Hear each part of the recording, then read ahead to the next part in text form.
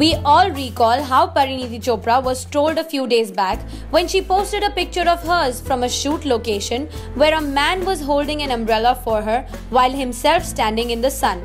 Now, a sort of similar fox pass has been done by Karisma Kapoor, and Twitteratis are not going to spare. Karisma was attending a function on kids' health and nutrition in Dubai. A while into the show, it started drizzling.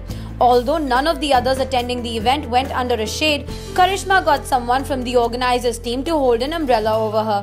While the other lady was holding the umbrella over Karisma, she was happily sitting down in her sofa and posing for the shutterbugs. Karisma posted this pic on her Instagram account and she is now being trolled for celebrity high-handedness. Karisma captioned it, Hashtag Dubai Drizzle. When it rains at an event, smile and keep going. Hashtag community awareness. Hashtag kids health and nutrition. Hashtag healthy baby contest. Hashtag about last night. Hashtag Dubai. Some of the uncharitable responses were as follows. Why do you need umbrella for? With all due respect, and you being an influential person, it would have been better had you held your own umbrella, ma'am. This will turn out to be a disaster. Why can't you hold your own umbrella? It's easy to smile while someone is holding your umbrella. Stout is adjective, don't follow with noun.